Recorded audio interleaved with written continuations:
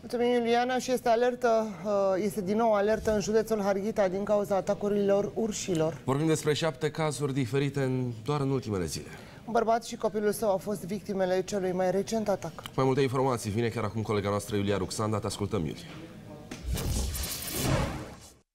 Bun găsit tuturor! Este în continuare alertă în mai multe județe din România, iar asta pentru că urșii sunt tot mai prezenți. În ultimele două zile, jandarmeria din județul Harghita a fost pusă în alertă după ce au primit numai puțin de șapte apeluri care anunțau prezența animalelor sălbatice în zona locuințelor. În cele mai multe dintre cazuri, localnicii spuneau că este vorba despre ursoaice însoțite de puilor care se plimbă pe diferite străzi din localitate. Îngrijorător însă este faptul că în ultima perioadă au fost semnalate și atacuri ale acestora. Vă reamintesc că în acest weekend weekend, tot în județul Harghita, un bărbat împreună cu copilul său au fost atacați de către un urs.